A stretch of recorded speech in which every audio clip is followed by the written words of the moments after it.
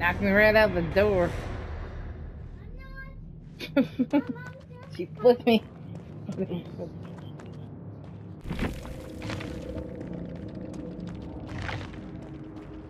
she flung me out of the mattress.